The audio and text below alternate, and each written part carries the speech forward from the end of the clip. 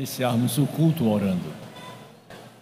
Bondoso Deus, eterno Pai, te damos graças pela oportunidade que nos concede de estarmos na tua casa, para te adorarmos, Senhor, na beleza da tua santidade, tributarmos a ti a nossa gratidão, o nosso reconhecimento, Senhor, por tudo que tu és e por tudo que a nós tens feito os teus filhos, teu povo, a tua igreja, as tuas filhas, aqui estamos reunidos para celebrar a ti. Rogamos que a tua mão permaneça estendida sobre nós, nos guardando do mal e de toda intervenção do inimigo. Que o culto desta noite seja confirmado com o teu poder e com os dons do teu Espírito Santo. Guarda os teus filhos que vêm a caminho da tua casa e lhes concede graça para juntos louvarmos e bendizermos o teu nome. Pai, te pedimos pelos missionários, pelos obreiros da tua seara, pelas autoridades constituídas do nosso país. Ajuda-lhes em tudo, Senhor. Oramos a ti agradecidos, em nome de Jesus. Permaneçam de pé. Por gentileza, vamos louvar o nome do Senhor entoando o hino de número 42. Saudai o nome de Jesus.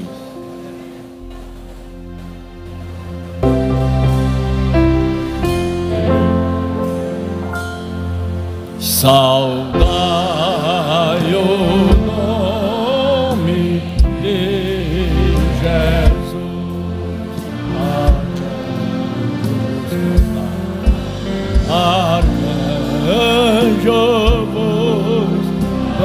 Uh...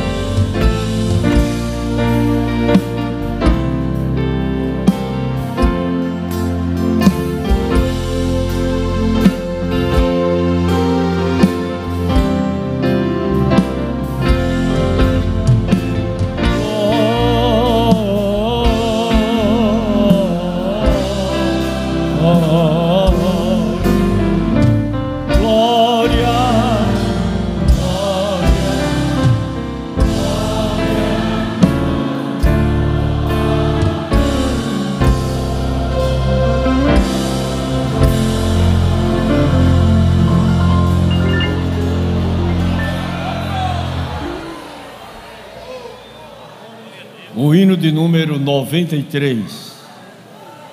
Há trabalho pronto para ti, cristão, que demanda toda a tua devoção. Há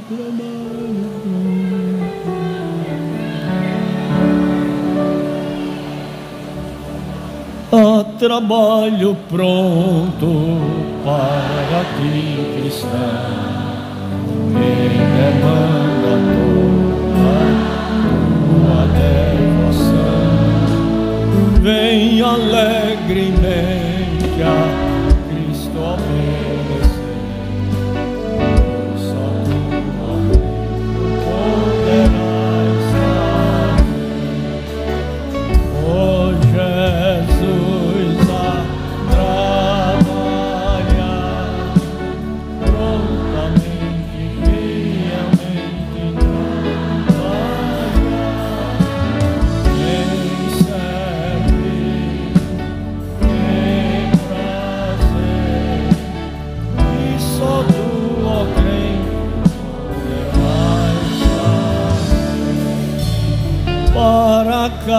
cada crente o mestre preparou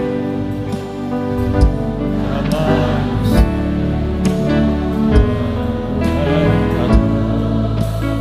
o trabalho a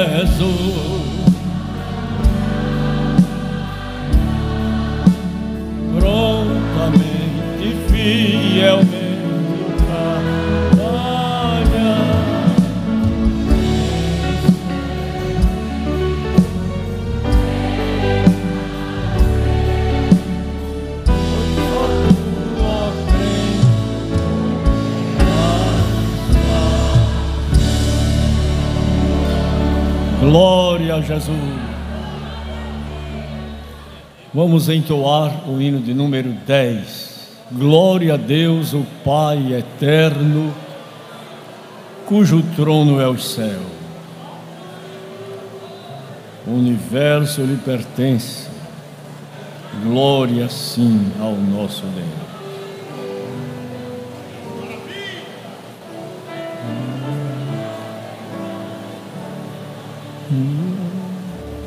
Glória a Deus, o Pai eterno, cujo trono é o céu. O universo lhe pertence.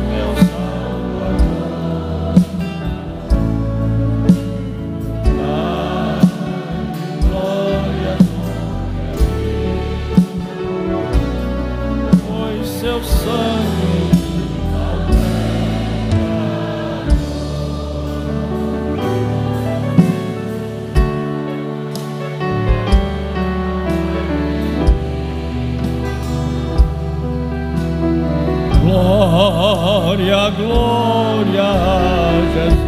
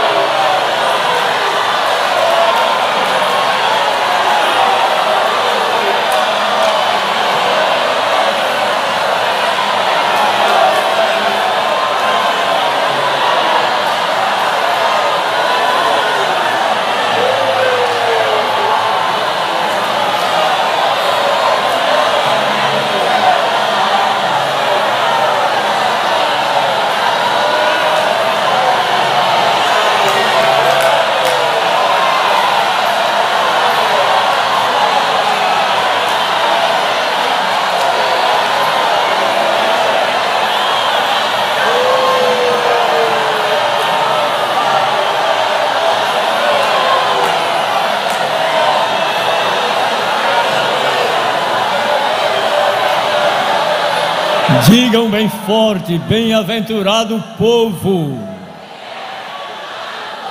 que conhece o sol festivo.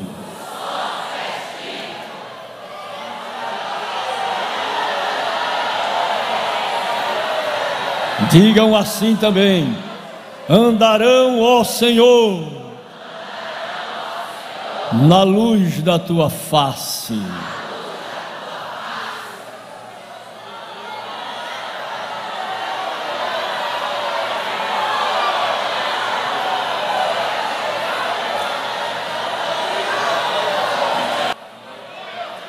Esse foi para esquentar um pouquinho a alma. Libere o que você trouxe para este culto de adoração. Não se prive da graça de Deus. Se libere. Libere tudo o que você trouxe, porque hoje é noite de vitória para todos nós. Aquele que quebra o arco, que corta a lança, que queima carro com fogo, Ele está presente nesta noite aqui para nos abençoar.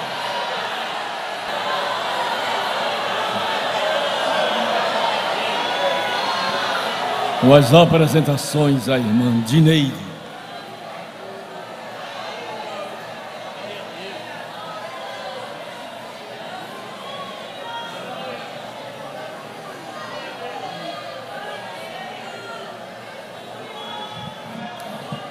Cumprimento a igreja com a paz do Senhor. Ele está aqui. Você está sentindo ele aí? Você está sentindo ele aí? Vocês estão sentindo ele aí?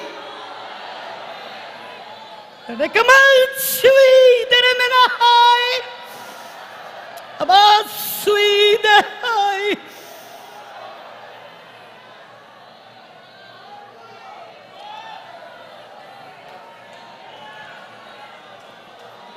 A presença dele está neste lugar. Não perca a oportunidade. Não deixe ela passar. Abrace ele nesta noite. Sinta ele aí. Aleluia. Nesta noite ele pode te curar. Ele pode entrar no teu lar com providência. Aleluia! E eu sei que é para fazer as apresentações, mas o Espírito Santo de Deus bradou dentro de mim que aquela mulher deu, ofereceu, ofertou o melhor que ela tinha. Ela quebrou o vaso era o melhor que ela tinha. Dar o melhor nesta noite, neste lugar, e você vai sair daqui de forma diferente, porque Ele é aquele que se agrada, que eu e você calada, mas haja, faz alguma coisa enquanto pode. Deixa eu ir, ai. Aleluia. Enquanto pode. Enquanto pode, faz. Enquanto pode. Aleluia. Glória a Deus. Um versículo da parte de Deus que é muito conhecido, mas foi o que o Senhor colocou no meu coração. Levem como um presente do Demade nome de Jesus.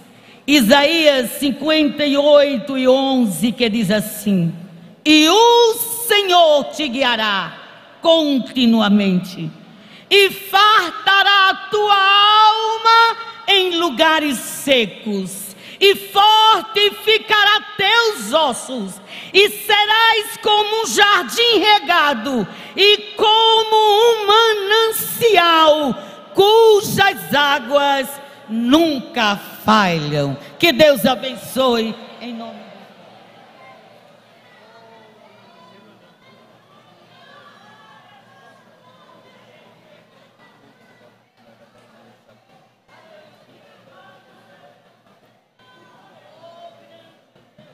Eu vou dizer igual dizia o pastor de saudosa memória Sebastião Gabriel, assim sim.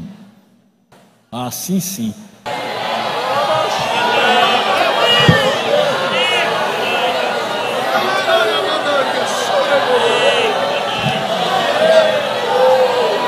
Pastor Onias Ferreira, por gentileza.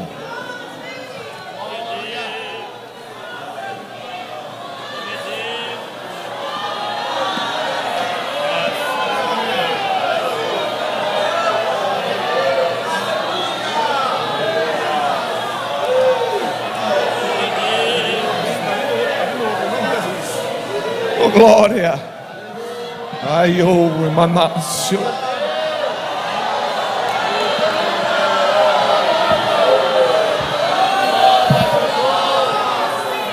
Anda lá, Manaio, Emanácio.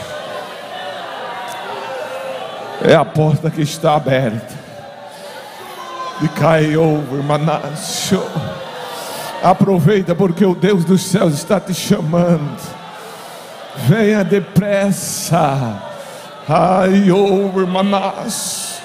Porque você pode procurar dessa multidão e essa multidão não mais se encontrar aqui na terra. Porque Jesus Cristo vai raiar nas nuvens. Aleluia. Então conserta-se diante do teu Deus para estar participando da igreja que vai subir. Oremos, Senhor nosso Deus, nosso Pai. Deus grande e poderoso, estas vidas, meu Senhor Deus, que estão diante de nós e especialmente diante de Ti, meu Senhor, confessando, Senhor Deus, serem necessitados, ó Deus querido, do Teu perdão, necessitados da Tua salvação, Senhor, necessitados do Teu poder, Deus querido, que entre, entre agora, meu Senhor Deus, com ação nestas vidas, trazendo a eles, meu Senhor Deus, o fortalecimento da fé. Anda lá, manai, ouve, maná, Senhor.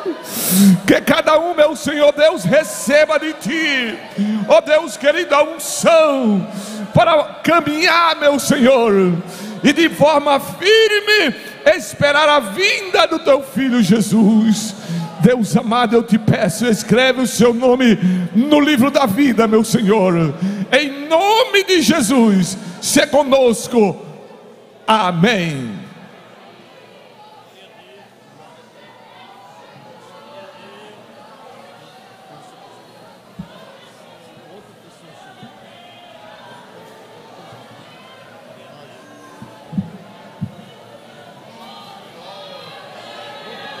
Nosso Deus e Pai, damos-te graças por mais uma vida que vem à tua presença.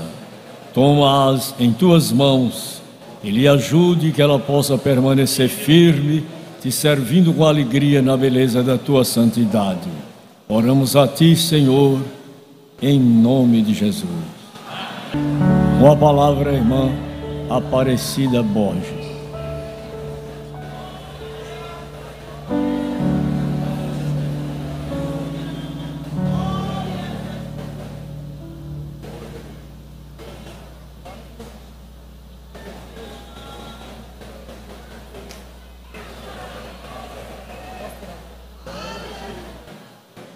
Glória a Deus. Saúde a igreja na paz do Senhor.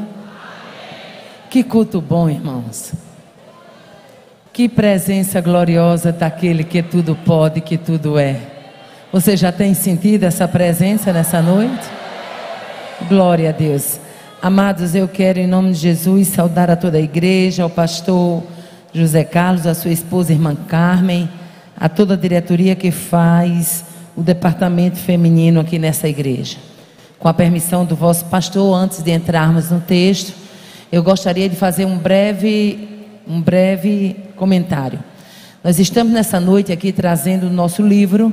Esse livro, para quem não sabe, foi o primeiro livro que o Senhor me deu, que traz como título Vencendo a Tristeza. Deixe-me dizer uma coisa. Eu já tenho tido algumas experiências com Deus com relação a promessas de Deus.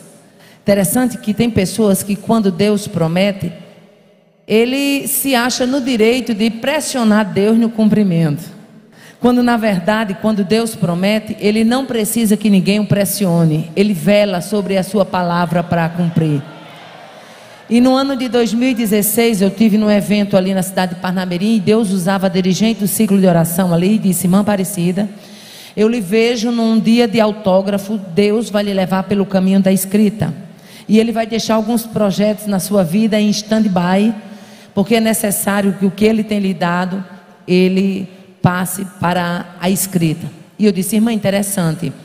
Quando eu publico algum artigo, escrevo para o blog do ciclo de oração, que eu trabalho com ciclo de oração ali em Mossoró, as irmãs já comentam que o pessoal gosta e tudo, e inclusive a irmã que cuida do blog me perguntou se eu não tinha pensamento de escrever um livro, eu falei para ela que eu não tinha tempo. Passou-se quando foi o ano passado, em janeiro de 2018, eu recebi uma ligação da editora Autor da Fé. Para quem não sabe, a editora Autor da Fé é da filha do pastor Josué Gonçalves. E eles me ligaram e disseram: Olha, a gente teve acesso a algumas ministrações da senhora e a gente tem interesse de transformar essas ministrações em livro. E eu disse: Mas eu não tenho tempo de escrever. E ele disse: A senhora não entendeu, a senhora já tem o livro e a gente tem toda uma equipe que vai digitar cada palavra que saiu da sua boca. A senhora só tem que dizer se quer ou não quer lançar o livro, porque é interesse da editora de lançar. E quando tiver tudo pronto, a gente manda para a senhora, a senhora acrescenta ou diminui algum parágrafo. E assim foi. Foi em janeiro, em julho estava sendo lançado nosso primeiro livro, Vencendo a Tristeza. Traz a história da personagem Leia, a única mulher da Bíblia que com uma semana de casada ganhou uma rival mais nova, mais bonita e mais amada.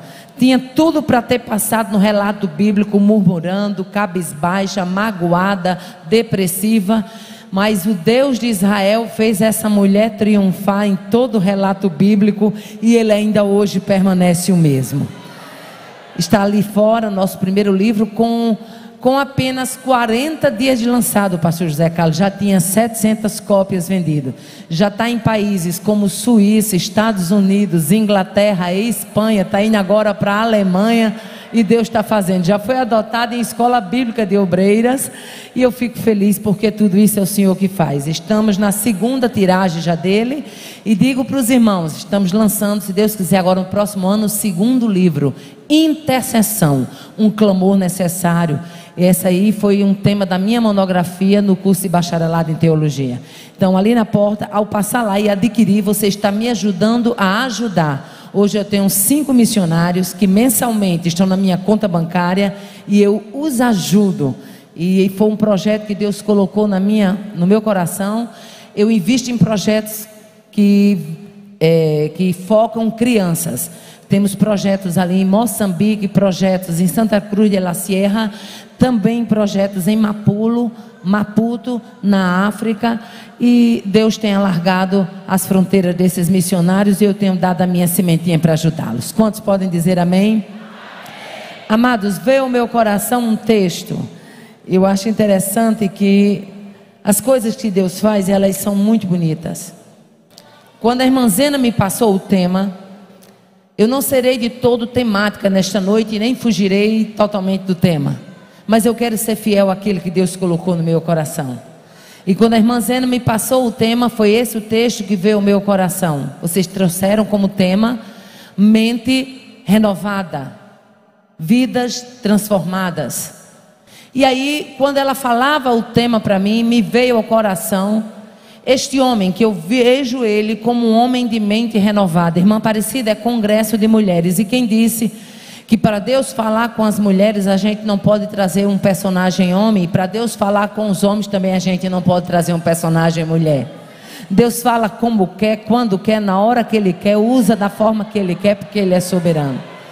Abra sua Bíblia comigo, um texto bem conhecido, 1 Samuel capítulo 17, a começar do versículo 42. Glória a Deus. 1 Samuel 17, a começar do versículo de número 42, nós vamos ler alguns versículos da palavra de Deus. Quem achou, diga amém. Diz assim a palavra do Senhor. E olhando o filisteu e vendo a Davi, o desprezou, porquanto era jovem, ruivo e de gentil aspecto. Disse, pois, o filisteu a Davi: Sou eu algum cão, para tu vires a mim com paus? E o filisteu o amaldiçoou a Davi pelos seus deuses. E disse mais o filisteu a Davi: Aleluia, vem a mim, e darei a tua carne às aves do céu e às bestas feras do campo. Davi, porém, disse ao filisteu: Tu vens a mim com espada e com lança e com escudo. Porém, porém eu vou a ti em nome do Senhor dos Exércitos, Deus dos Exércitos de Israel, a quem tens afrontado. Hoje mesmo o Senhor te entregará na minha mão, e ferir-te-ei, e tirarei a cabeça, e os corpos do arraial dos filisteus darei hoje mesmo, as aves do céu e as bestas feras da terra, e toda a terra saberá que há Deus em Israel. Quantos podem dizer amém? Glória a Deus. Um texto bem conhecido da palavra de Deus, quando a Bíblia diz que naqueles dias os filisteus estavam acampados entre Socó e Azeca e os, os israelitas estavam acampados no Vale do Cavalho. Havia naqueles dias uma perseguição, e não apenas uma perseguição, havia naqueles dias toda uma trajetória de afronta.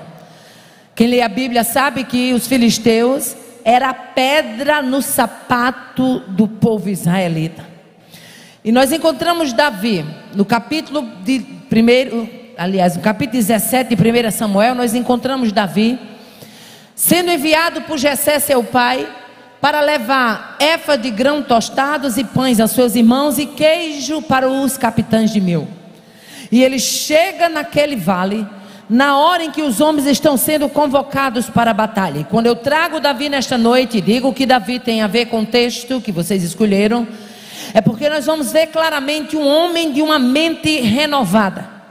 E para que saibamos o que é ter uma mente renovada, não se pode ter uma mente renovada sem saber quem você é em Deus e quem Deus é em você.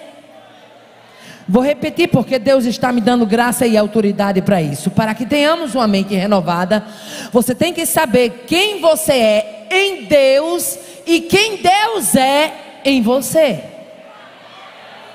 E nós encontramos este Davi, nove, novo, de gentil aspecto, chegando no vale do Cavalho, conhecido também como Vale de Elá numa das batalhas mais renhidas, numa das batalhas mais travadas, mais tremenda. A Bíblia diz que por 40 dias Golias se levantava para afrontar o exército israelita.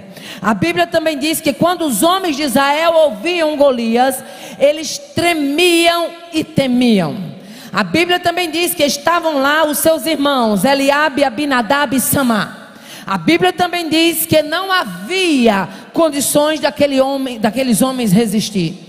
Pelo relato bíblico você vai ver que tinha muita gente no campo de batalha, mas faltava gente que compreendesse quem ele era em Deus e quem Deus era nele. E quando Davi chega na hora da convocação da batalha, a história de Davi é muito conhecida, mas nesta noite deixe-me dizer uma coisa.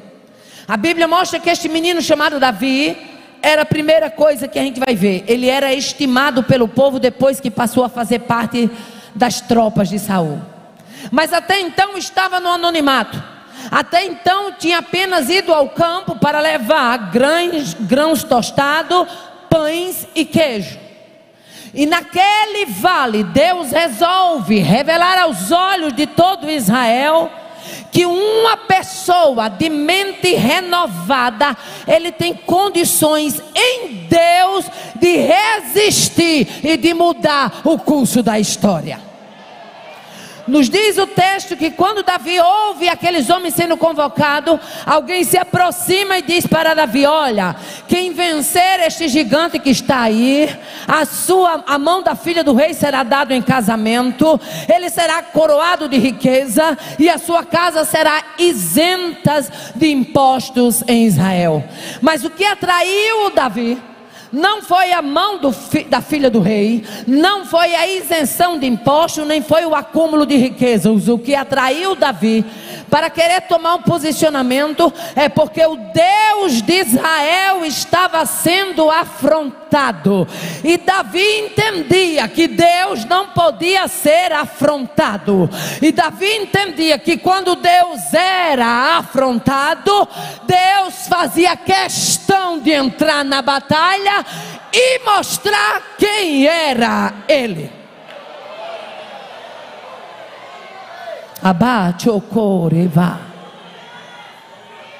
Quantas coisas Deus pode fazer no campo de batalha, aonde tiver um filho fiel, uma filha fiel, um servo fiel sendo afrontado. Você já parou para pensar? que você na sua rua, com as suas orações, você pode fechar aquele centro de macumba que está lá? Ah,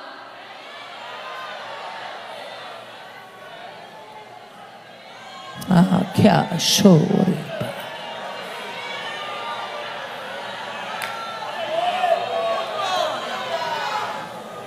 Nós precisamos resgatar a identidade da loucura que os primeiros crentes tinham e que ao longo dos anos a igreja tem perdido.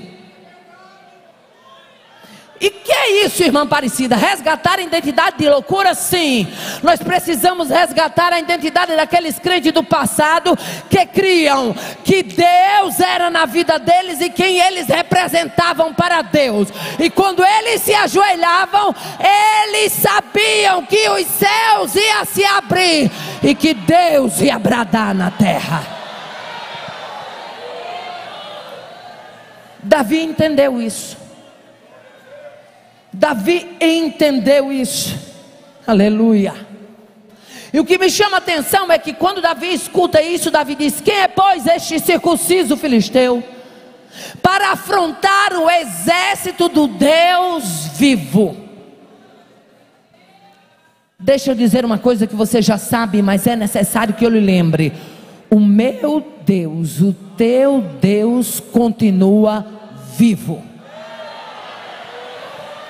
continua vivo. Cachoribaço. Nemayandou couviaço. Continua vivo vivo para desfazer as obras do diabo, vivo para quebrar arco, corta-lança, vivo para queimar carro no fogo, vivo para bradar na terra e dizer: aquiete-se e saiba que eu sou Deus. Oh, aleluia. Quando Davi se depara com a cena, pensa numa cena deprimente. Golias afrontando os exércitos de Deus. E vamos aqui no nosso linguajar nordestinês. E um magote de soldado, tudo frouxo e com medo de avançar. Eles não estavam entendendo ainda quem eles eram em Deus e quem Deus era na vida deles. Abate, socorro. Você está sentindo aí o que eu estou sentindo aqui?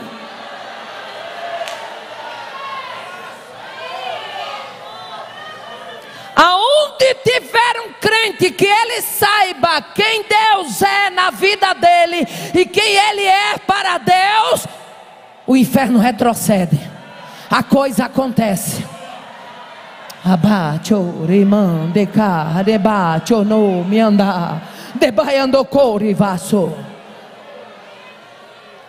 Quando Davi vê a cena deprimente, imagine aí o que é 40 dias, uma radiola de Satanás, que a boca de Golias estava ali como radiola de Satanás, dizendo: Dê-me homem, para que lute comigo, se vocês tiverem um homem. Era muita vergonha, rapaz, era muito escárnio, era muita afronta, era tripudiar muito E você está achando que Deus vai deixar barato um negócio desse? Rei bia cho re kya da da cho manda. De manhã, mesma história. De tarde, mesma história. No outro dia, mesma história. 40 dias, 80 afronta da radiola de Satanás. Mas deixa eu dizer uma coisa: radiola de Satanás só vai tocar na hora em que Deus não chegar para dizer: Vou fazer festa do céu aqui.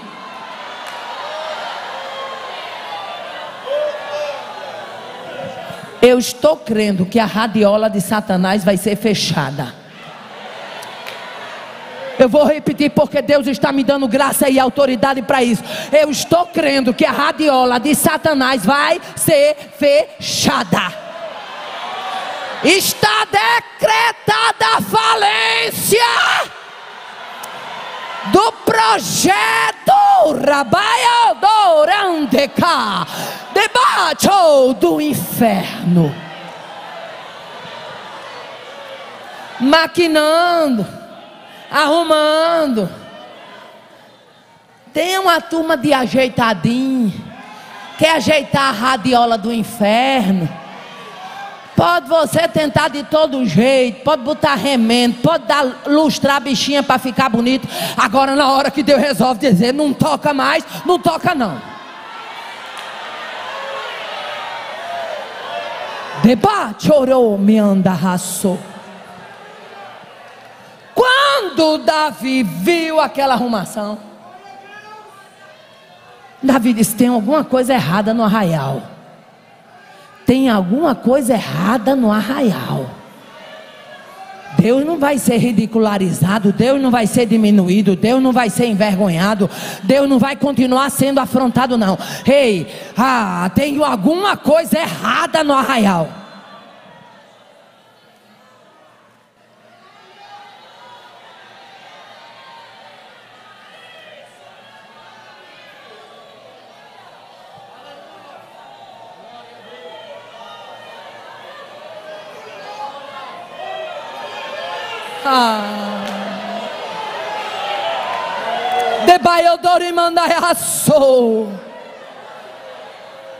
Davi caiu na besteira de dizer que lutava com gigante, meu filho, camarada. Eles estavam com tanto medo, o pastor José Carlos, que o correio lá do Vale do Cavalho funcionou ligeiro. De repente a história chegou no ouvido de Saul. Aleluia. Sabe por quê? Porque eu não sei o que é que tem caba frouxo, que ele só fala das, das valentias dos outros. Eu não tenho o que contar, mas pelo menos a valentia dos outros eles espalham.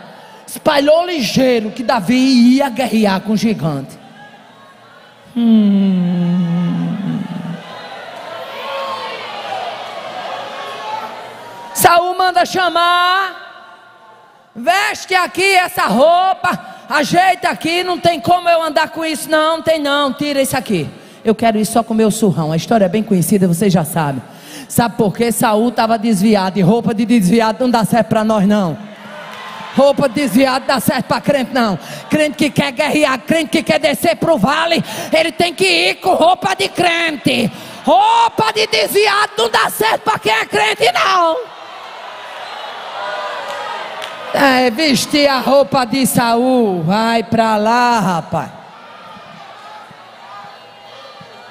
Vai com teu surrão. Mas é velhinho, mas o meu surrão é ungido. Vai com teu surrão, mas é conhecido, é roupinha de pastor, tem nada não, mas é consagrado. Vai com teu surrão.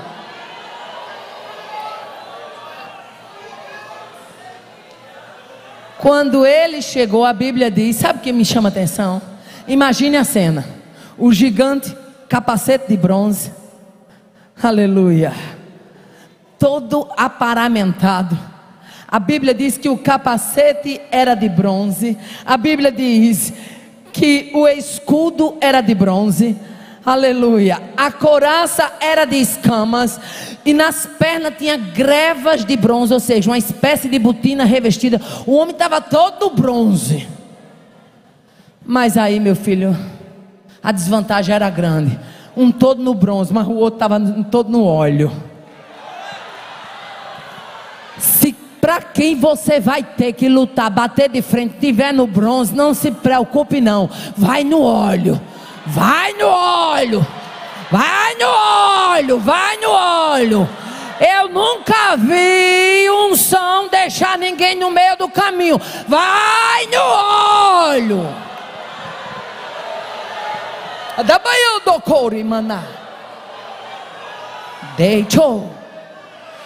Quando ele vê, a Bíblia diz, sabe o que, é que eu me admiro na ação de Davi?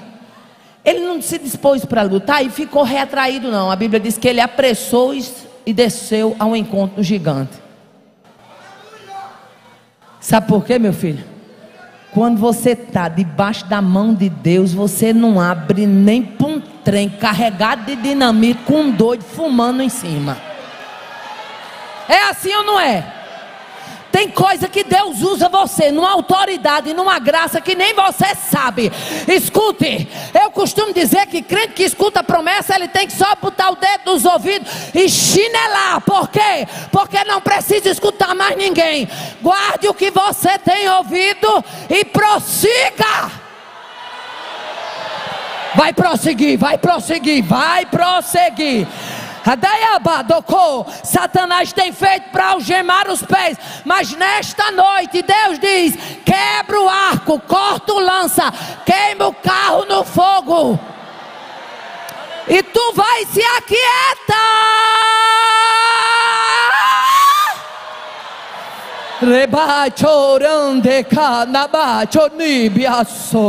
E saber que Ele é Deus. Davi estava com a mente tão preparada para a batalha, que quando ele desce no vale, o, gigante olha para ele e despreza. Você já viu como o comentário dos outros, ele surte um efeito negativo sobre nós? Você pode sair de casa todo arrumado, se sentindo bonito, alinhado, mas se você encontrar a primeira pessoa e a pessoa olhar para você e dizer: Nossa, por que você vestiu essa roupa? Você já fica achando que não está tão arrumado como deveria. Porque o comentário dos outros, quer queira ou que não, de alguma forma, ele nos atinge. Mas Davi estava tão turbinado pelo céu. Oh, aleluia. Glória a Deus, aleluia. Que quando Golias olha para Davi e diz: Sou eu acaso algum cão para tu vir a mim com pau? Se virem ao cajado. E disse ele: Vem a mim, darei a tua carne às aves do céu e às bestas fera. Aí Davi disse: Espera aí. É aí onde entra uma mente renovada. Você não é o que Satanás anda dizendo que você é. Você é o que Deus disse que você é.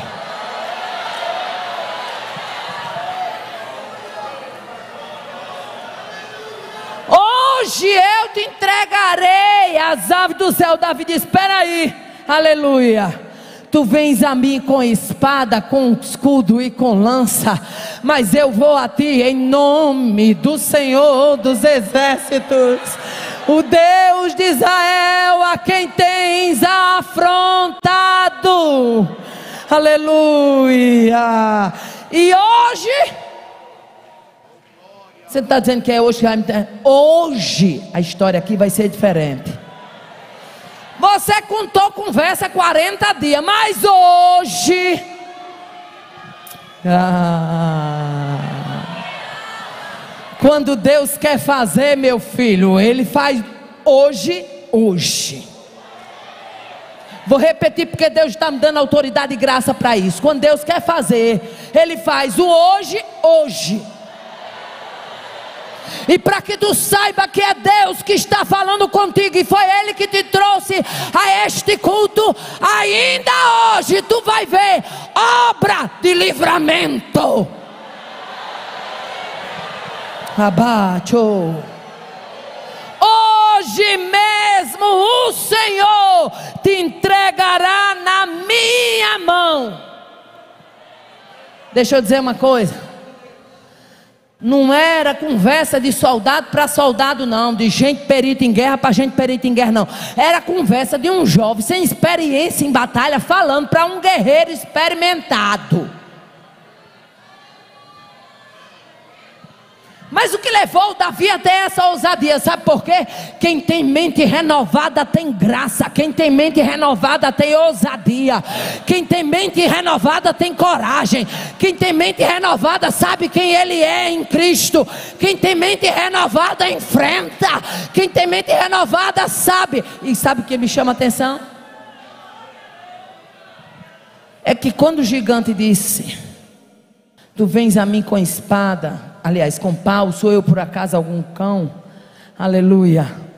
Eu acho interessantíssima essa colocação. Aleluia. Quando Deus entra nesta situação. Aleluia. No versículo 10. Aleluia. Quando Golias pediu um homem. Aí Deus tinha muito homem para mandar ali, mas mandou um menino. Deixa eu dizer uma coisa. Todas as batalhas que você passar na sua vida, entenda uma coisa: quem dita as regras da peleja não é o gigante, é o teu Deus. Pediu homem, Deus mandou um menino. Está pedindo um homem, vou mandar um menino para envergonhar, para mostrar que eu sou Deus.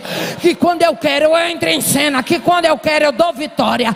Que quando eu quero eu derroto.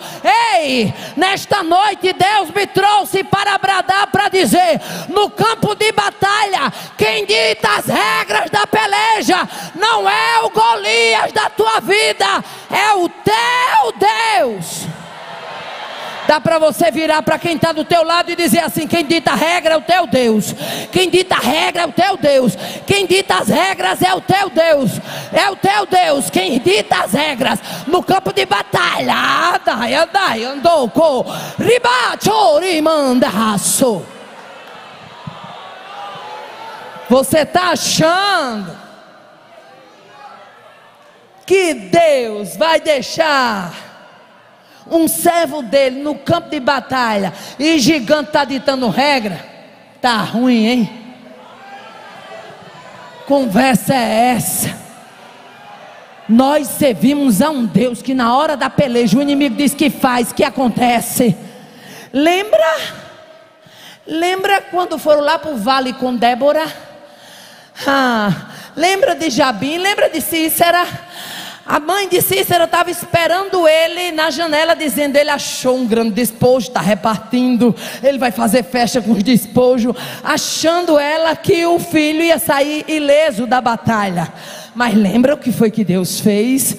Mandou a chuva e ganhou a peleja. O que é que eu quero dizer com isso?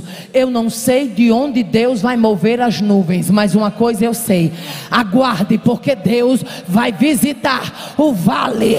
E quando Deus visita vale, nuvem carregada chega, gigante cai por terra. O nome dele é glorificado.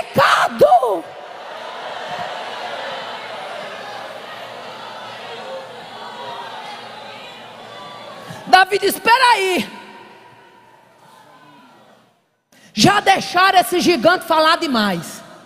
Sabe qual é o nosso problema, pastores? É que a gente deixa o gigante falar demais. Vou repetir porque Deus está me dando graça e autoridade para isso. A gente deixa o gigante falar demais. Deixa eu abrir aqui um parênteses. Porque quando eu abro esse parente, Deus fala com alguém em específico. Irmã Zena hoje me perguntou, irmã Aparecida já está aposentada? Eu disse já.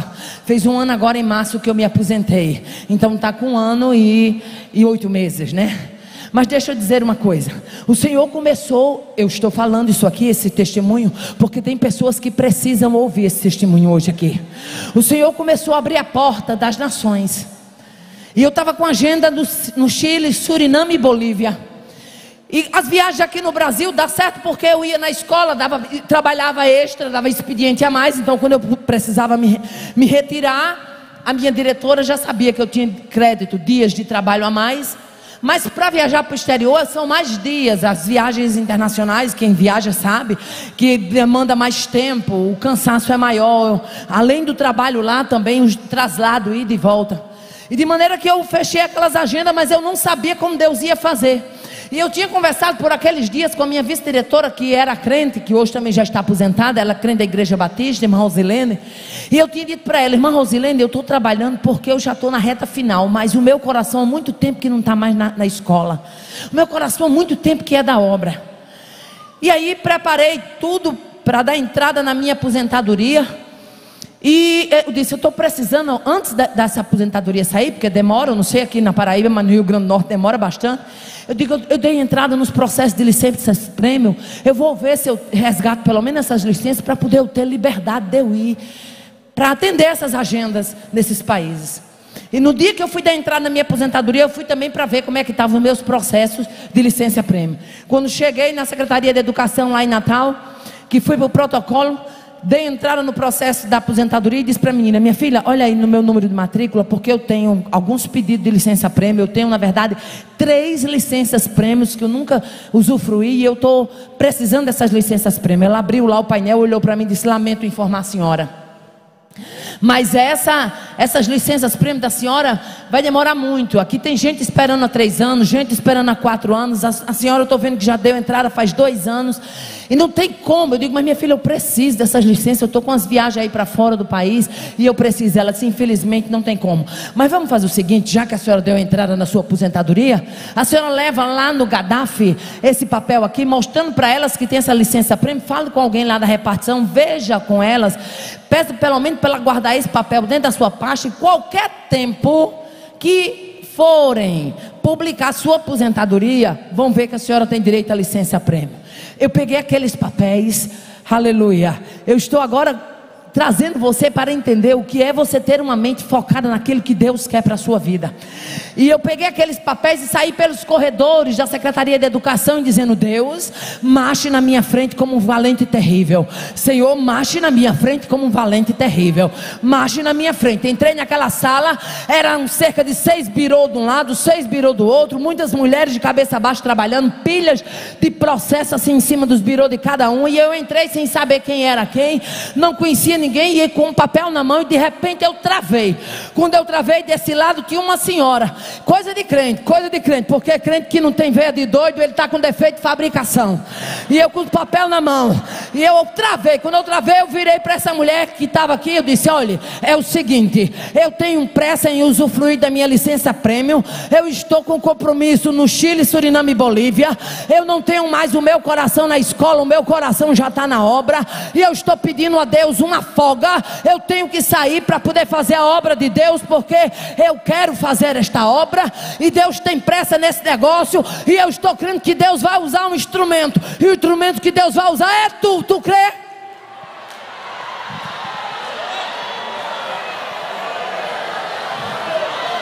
Tem crente aqui? Oh.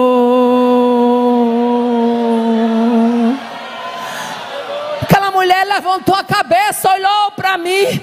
Aí estava lá de olho grelado. Quando ela olhou para mim, eu aguardei a resposta. Ela disse: Eu creio, porque há muitos anos atrás eu estava passando o vale e o instrumento que Deus usou para mim foi a senhora. E tudo que Deus falou, Ele cumpriu. E agora eu vou chegar junto. Eba, choramandeca. Era uma segunda-feira. Ela disse: Quando é que você embarca? Eu disse: Quinta-feira. Ela disse: Vai embora, bota o pé no aeroporto, não olhe nem para trás. Na quinta eu publico a primeira. Quando a senhora quiser, me liga, eu publico a segunda. Quando a senhora quiser, eu publico a terceira. Vai, porque Deus te levantou para isso. Ebai andar que abiassorima. Ebai odor imandeca. Nesta noite é noite de Deus desengaveta papéis. Vai ter gente contando antes de 31 de dezembro o desengavetamento.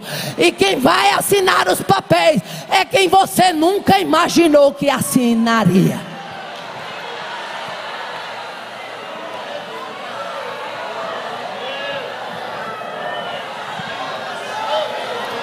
Davi entendeu. quando Deus te coloca no vale, é para sair de lá experimentado, aprovado, habilitado e honrado.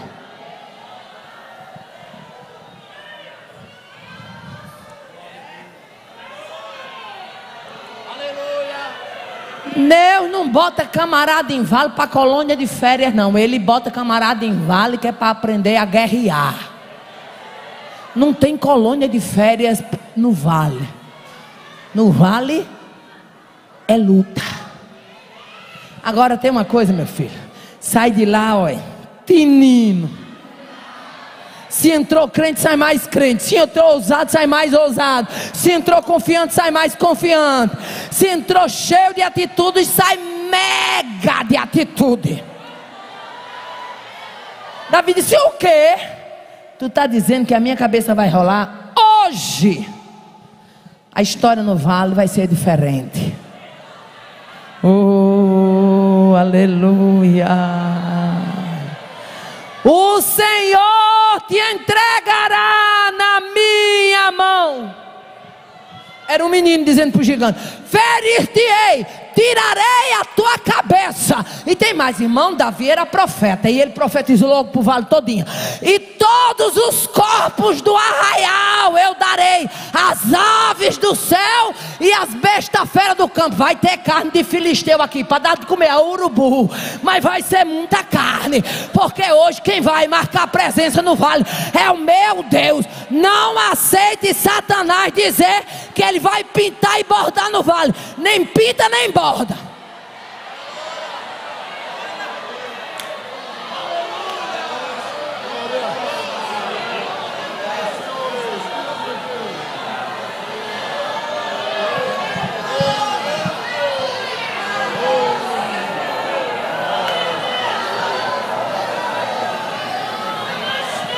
Abadaia mandocou.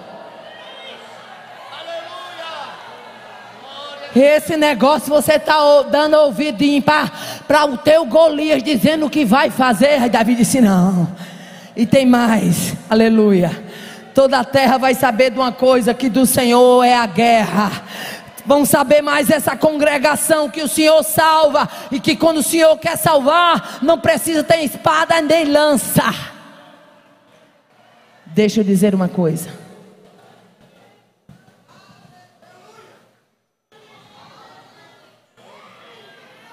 Sua experiência no vale é tão somente uma oportunidade que Deus encontra para dizer a você: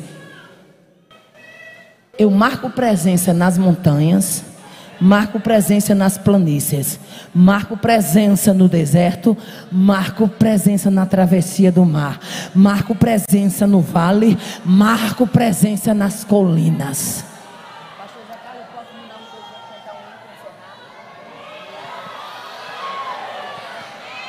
Em outras palavras, é Deus dizendo assim: Eu quero dizer para você que experiência no vale é a oportunidade de eu mostrar e dizer para você quem eu sou. Vou repetir porque Deus está me dando graça e autoridade para isso. Experiência no vale é a oportunidade de Deus dizer assim: Você ainda não teve experiência para saber quem eu sou? Eu sou. O conjunto das irmãs, o nosso pastor permitiu, vocês vão cantar aquele hino, na tua vida eu sou. E eu quero ouvir a igreja cantando, toda a igreja. Vamos adorar a este Deus. Oh, aleluia. Glória a Deus. As horas já são chegadas. Eu não quero me adiantar muito. Eu quero tão somente que você saia daqui sabendo de uma coisa. Quem dita as regras no campo de batalha não é Golias. Quem dita as regras no campo de batalha não é o teu gigante. O teu gigante até tem permissão para afrontar. O teu gigante até tem permissão para te desacatar.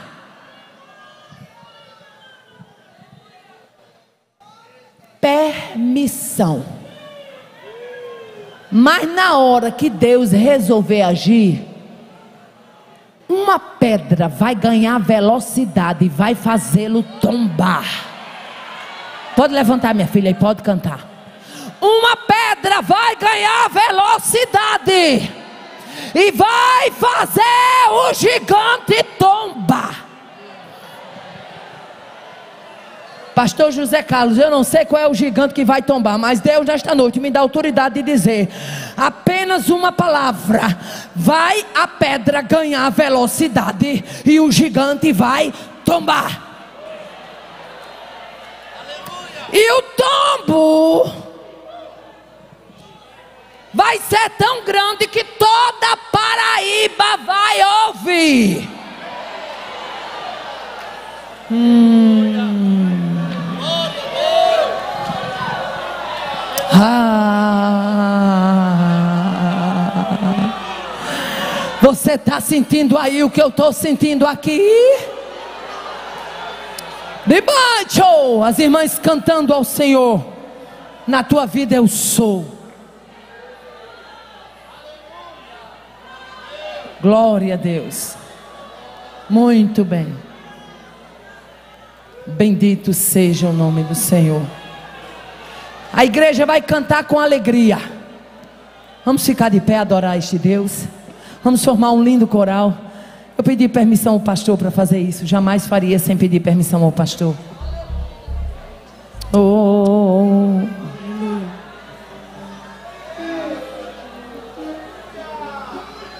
Glória a Deus. O hino sou eu. Quem está confiante aí? Quem está crendo que o gigante vai estar tá lá? Tem mulheres aqui que antes de 31 de dezembro vai estar tá de posse desse negócio. Vai chegar aqui saltitando de alegria.